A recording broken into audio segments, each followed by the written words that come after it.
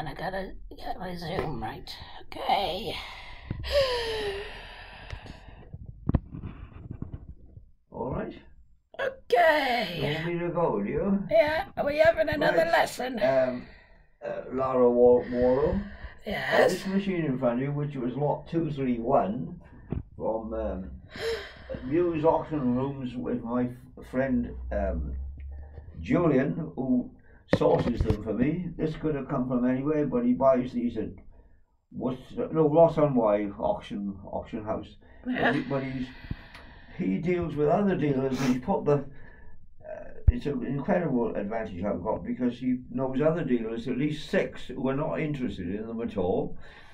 They get them for him. Sometimes they most probably give them to him from house clearance because you can't sell these. I mean, no one is interested in these. Most of the average young person, they don't even know what they are. It's all you know. It's all on your mobile now. What, what is it? This is uh, the last series of reel to reel tape by Grundig, which was considered, being Grundig, whether you've heard of Grundig, they were considered to be the, the Rolls Royce, well, I shouldn't say that, because they're German, the Mercedes of tape machines. And this is possibly the last one in the 60s before the whole thing went over to cassette. Right, here we go, lot 231. I'll start, start Okay, We haven't talked about the Philips, that's British. Now just press the buttons on here, and off comes the top. And this is a, a Grundig Continental TK120. Okay. Now, when I saw it, I, you buy them as seen. He said it, it looks very good. There are spools, everything's working. That's turning. Now, when I had it, I've been. This is jammed. What I did, for a start, this is jammed. Internally jammed. But when I had it, first of all, it wasn't jammed because possibly the machine has not been run for 30 years. Like we don't know something's stuck inside. So there we are. You can't move it. You don't force any of these damn things. So that's jammed. So you can't um, operate the controller. But something is running. So on and off. You'll hear something. And now I don't want to run it long because this is jammed. So the motor's going. We turn it off because there's something jammed. All I've done prior to using it is take the top off. All four screws. This comes off like this. It's on a spline. Gently put that under there. And That coming off. See, people don't know how to get these things apart. That's on a plastic spline. Checking, taking one, two, three. It's one, two, three, four small uh, Phillips type cro- um, cross uh, screws and one big one. Now this now will come off. Make sure she's off. Turn the power off for safety. This top comes like this. You've got to be careful because there's a valve under there which is the recording valve. So that's all connected internally. Now, before we do anything, it's not going to go. These are free. That's free. There's something jammed here. And I generally suss it by getting a screwdriver under here. This will be it. So we put this back. It's just there. It's something like this. Sticks. There you are. This is sticking. Now it's working. All it is is a little bit of Vaseline, a little bit of lubrication, like sex. Makes a lot of difference. So let's take that off. No, it's still jammed. So we got on here we got stop, which it won't go to stop, but it'll now move to start, pause. You see the mechanism here. There's, some, there's something sticking here. So we go pause, start. We're in start position there. But ah, the start position when the roll of the pinch roller goes against the drive. There's a pin in there with the main motor, Mhm. and when that little wheel there, which is free, with the tape running through there, this pinch, they call it a pinch roller, that goes against the main drive shaft. So when you see that going across like that, now she's in drive, but it, she's in the wrong position. But anyway, she's in the drive now, so let go. But it's not going to go anywhere. We'll just go back. Uh, go back. There you are. She's off.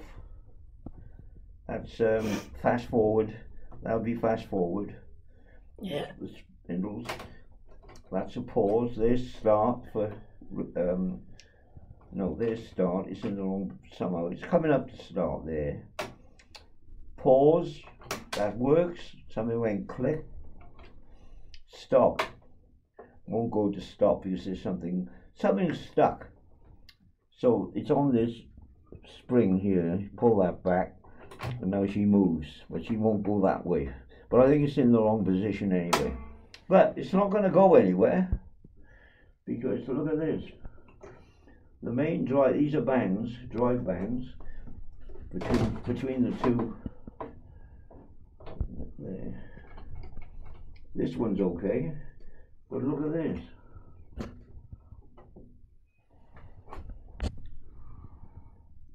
Broken. So it's not going to go anywhere. And all this is a rubber band. Okay. Perished, age, they, that's what happens to them. So it's not going anywhere. I can't see it in front of your jumper. So that connects from the main drive here. Uh, We try it now with fast forward. There's the spindle. Let's put that up there. There's the main spindle that's driving. No, that is that's the spindle, which causes the drive. But we should get something. Well, make sure I don't electric, electrocute myself. You've already turned it off. You just turned it back on.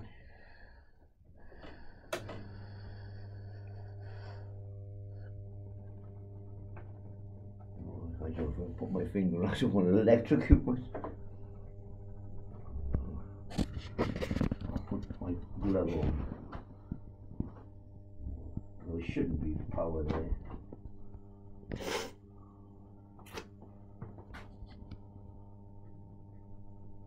Well, turn it off.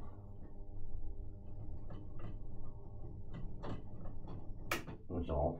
So I can put this some position here just to check. There was. Current gone into some drive. Now put it back on. What happens? Nothing.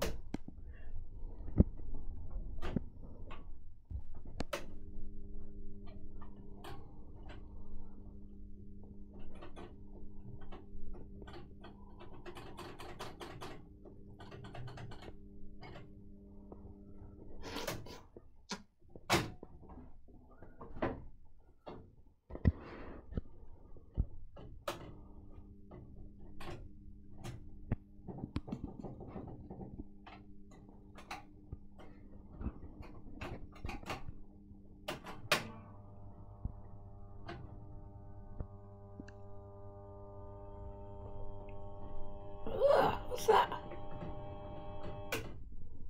There's smoke. I can. No, it was only a bit, very quick. it set it's it on driving fire. against something solid. It's driving against something solid, you see. Only touch it, it would be quick. Just it, it's something because it's it's not turning. Well, let's go.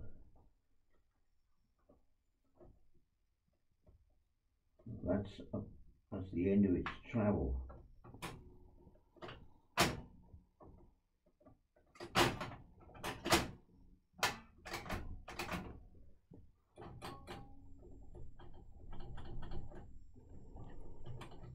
It's all free. Band, this is the band is very loose slack. That's the one band. This does this. Oh, it's not driving that one. So that goes against, see the rubber wheel? That hits that and that drives that. There you are. See that turning, that hits that shaft there, but that's not turning, I can't see. Hang on. That does that and that drives that. The other way, Do it again. the other way is, no, the other way backs off. See that goes to there, but the band, there it was, that's the band that snapped under there, which is driving this. No, the main shaft is driving the pin in there, under there. Is that, oh, that's going, but it's just slack, they're worn. You can't expect it. I'll put new ones on. There you are. Let's just give it another whirl.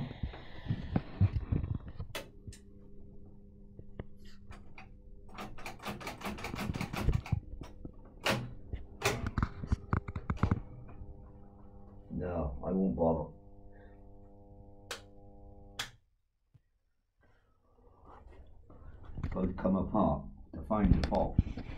So that's the end of that one. Are you gonna fix it? I'll show you the other one. Uh, are you gonna are you gonna fix it? Well, of course I can do all that. Oh, go on then. Well, I can't do it now Why? because because all this has got to come apart, and I haven't got that. I haven't got the band anyway. I've got to get one. Uh, okay. So just put it back together. Pro, pro ten. Put that in. And it's, and it's stuck. You see, it's uh, it's all. Which way does that go? Oh, I can see it now. It's there. Plastic. Well, it should be. Oh, it's that way. It's that way. There you Your uncle. And Fanny's your aunt. Oh, lovely. They're beautifully made. And this was considered to be the state of the art machine. Dead silent because anything with rubber bands, with the bands like this, I'll show you the Philips. Prior to these, those others are mechanical, and they didn't use a, a band system. But the problem with the band system, that they snap, but they'll, they'll last 20 years. Of course, it is. We don't know what the history of it. It just snaps. It says that's it. I've I've my my life, and it's by using a rubber band on on silent motors. The thing is dead silent. Yeah. So it goes there. I'll show you the Philips.